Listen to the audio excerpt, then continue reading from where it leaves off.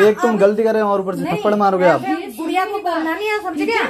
देखो माता जी मैं मैं आपसे मैंने तो ये वाली कोल्ड ड्रिंक पी नहीं फिर भैया लोग पी रहे थे। अभी जिस दुकान में हम लोग गए थे खाना खाने के लिए एक्चुअली वहाँ से लाए थे कोल्ड ड्रिंक और जिसकी ना डेट एक्सपायरी है।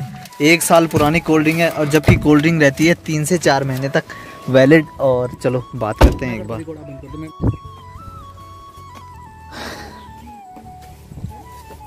एक्सक्यूज मैडम ये देखना ये कितने साल पुरानी है? कोल्ड ड्रिंक देखो आप। आपने कितनी पुरानी एक साल पुरानी कोल्ड ड्रिंक है। कोई बात नहीं वीडियो बनाने की ज़रूरत नहीं है। वीडियो बनाने की ज़रूरत नहीं वो तो हमारा ब्लॉग है बट लेकिन आपको ऐसे नहीं देनी चाहिए ना इतनी पुरानी। हो वो तो हमारा ब्लॉग है हम तो ब्लॉग में तो डालेंगे ही हो तो। बट ये तो गलत बात है ना देखो हम ऐसे भी बात कर सकते हो बिना वीडियो बना के वैसे भी हो भी आता है लेकिन तुम जैसे लोग नहीं पर ये तो आप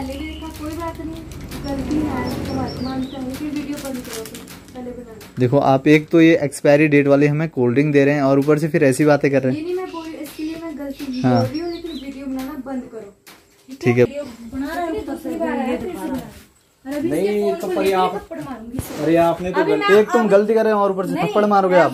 गुड़िया को बोलना नहीं समझ गया देखो माता जी मैं मैं आपसे कुछ वीडियो बना रहा था ये कर रहे हो ऊपर से। हाँ। तू आपकी गलती है ठीक है? मैंने वापस इसने पैसे रही हूँ ठीक है? पैसे वाली बात नहीं है मैंने तो पी ली मैं उस चीज़ की आप बताओ ना अगर कोई प्रॉब्लम हो ठीक है? नहीं अभी ठीक कुछ नहीं होती है आपने हमें दे दी आपने गलती आपने पहले दुकान में क्यों रखी है? एक्सपायरी वाली चीज़। है। हमने हमने जल्दबाजी में आपसे ले लिया हमने पी भी ली है एक्सपायरी वाली आपने दे दी कल के दिन हमें कुछ हो जाएगा तब क्या होगा वीडियो तो हम तो ब्लॉगिंग करते हैं ना हम जहाँ भी जाते हैं तो ब्लॉगिंग में तो हम दिखाते ही दिखाते हैं। तो आपकी नहीं है। बनाई हमने पर्सनल ऐसी वीडियो? ये वीडियो बना रहा है। चुप रहो तुम भी चुप नहीं नहीं हम क्यों चुप रहेंगे। नीचे रखो अपनी ज़ुबान। मैंने कहा ना ये एक्सपायरी थी अगर होगी भी मैंने देख ली है। मैंने पैसे आपको वापस दे दिए। तो फिर वीडियो बनाने की क्या ज़रूरत पैसे वाली बात नहीं है फिर आप क्या बातें कर रहे हो? पैसे मैंने पी लिए ली है? ना ये। तो फिर वीडियो क्यों बना रहे हैं ये भैया? वीडियो की आपने रखी क्यों है? मेरे को बात बताओ आप कह रहे हो गलत की आप मान भी रहे हो। आप अंदर क्यों रखी हो? ये बताओ ना उस चीज़ की आप बताओ। इसको भी ये है। मैडम इसमें आपने 2021 का माल लगाया क्यों है? ये बताओ ये देखो 2021 हज़ार लिखा पैसे वापस दे रही हूँ। पैसे वाली बात कहाँ से आ गई तो उसमें आप क्या करोगे कि मैंने रखी? क्यों रखी है आपने? मैंने पी ली है ये बताओ। अगर मेरे को कल को कोई प्रॉब्लम होती है उसकी जिम्मेवारी ले रहे हो? तो आपको भी तो देख के आप उसको वीडियो के लिए रोक रहे हो? आप इस चीज़ की जिम्मेवारी ले रहे हो कि नहीं ले रहे हो? पहले ये बताओ। अगर मेरे को कोई मेरा खर्चा उठाओगे? तो पहले जब मैं देके दे रही देख पैसे रिटर्न करने से नहीं बात बनती आप दुकानदारी कर रहे तो सही। हो आप एक्सपायरी माल ना रखो ना सेल ना करो आपको तो फिर पैसे वापस करिए ना। पैसे वाली बात नहीं आ रही मैडम पैसे आप फिर है। पैसे वाली बात आप मेरे को दिखा रहे हो। ये वीडियो नहीं बनाओगे नहीं ऐसे?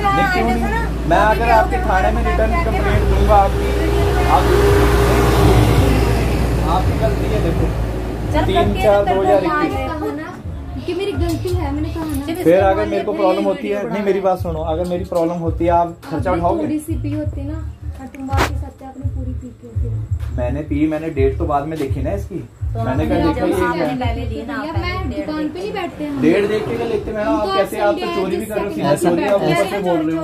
चोरी की कोई ये बात चीज़ नहीं है गलत बात है। चोरी की कोई बात नहीं है। क्यों नहीं गलत आपको जब पता माल मेरा खराब देख है आप मेरा माल यही तो होएगी और यही होएगी और है, भी होगी अभी लेके आ रहे हैं हम माल नीचे से ठीक है ना। भैया देख ले हाँ इसी में होगी पेप्सी ये पेप्सी ये पेप्सी वाली होएगी शायद हमने देखा हाँ, नहीं है। इसमें हमने देखा नहीं हमारे पास दो। भैया। ये देखो कैसा है माल आप देखो वैसे आप हमसे बता रहे हैं ना देखो पेप्सी वाली होगी। आपकी दुकान भी है आप हमसे ज़्यादा पढ़े लिखे हैं और इसमें देखो नीचे क्या लिखा हुआ है। रहे केवल चार मंथ तक वैलिड है जब से ये बनी हुई है। और भी देख लो। और लेकिन आप पेप्सी पेप्सी होगी मैं बता रही बाकी आपको। और नहीं मैम क्यों फिर आपने दिया आप मना कर देते मेरे को आप क्या लेना पता? दे दे- सुनो मेरी हैं बात को क्या पता मैंने हम एकदम से माल उठाते हैं।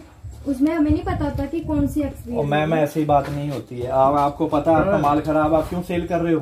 ऊपर से आप तो चौड़े भी होके देखा बोल रहे हो इसको डरा रहे हो। वीडियो बनाने से वो गलत बात है बात है क्यों गलत बात है? गलत आप आप तो दुकान में कुछ बनाई तुमने फिर? क्यों आप गलत बेच रहे हो काम कर रहे हो गलत काम कर तो रहे हो ये सही है। रही ना कि पैसे दे रही हूँ मैं। मैंने पी है मैडम इसे। पैसे चलो ठीक है अगर मैंने नहीं पी होती ना तब तो पैसे की कोई वो दिक्कत नहीं थी।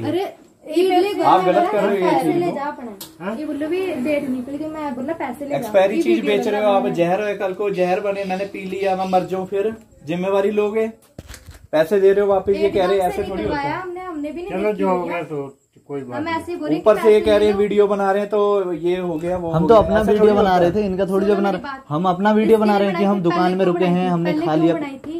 भी तो आए थे दिखाओ इनको वीडियो दिखाओ हमने अपनी वीडियो बनाई है हम आपकी वीडियो क्यों बनाएँगे? हम ब्लॉग करते हैं हम अपना ब्लॉग करते हैं मैडम नहीं नहीं सर नहीं है। मैडम बात पैसे की नहीं है आप आपने ये गलत बात करी है कि आप हमारी वीडियो बना रहे हो। हम अपनी वीडियो बना रहे हैं। हम ब्लॉगिंग करते हैं तो अपनी तो वीडियो बनाएँगे हम आपकी क्यों बनाएँगे? तो रही हूँ तुम्हें तो ले लो अपने पैसे तीस रुपए। आप हमारी बहन जैसी हो और ऐसी बातें कर रहे हो। हो गया सो हो गया बंद करो तो लग रही है हट देना पता नहीं। या पहले तो माल निकालो बाहर सारा टैक्सी का। है? टैक्सी का माल बाहर निकालो। लग नहीं हम निकाल लेंगे भैया खुद किसका है?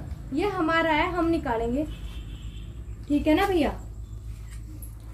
ये जो हो गया है। सो हो गया रहने दो अब जो कुछ हो गया। और नहीं है भैया? ऐसे नहीं होता सर। जो हो गया वो हो गया। आप जहर बेचोगे दुकान पे कल कल को पी पा के मर जाए।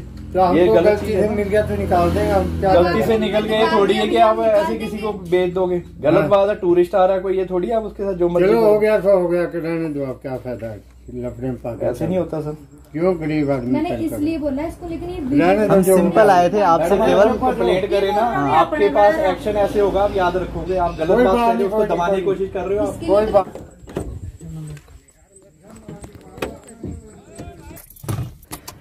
उफ, तो वापस आ गए हैं फिर अभी गाड़ी में। पूरा मूड खराब कर दिया। तुम तो डर जाते हो यार ऐसा थोड़ी है। बंद तो नहीं है? खुला है ना?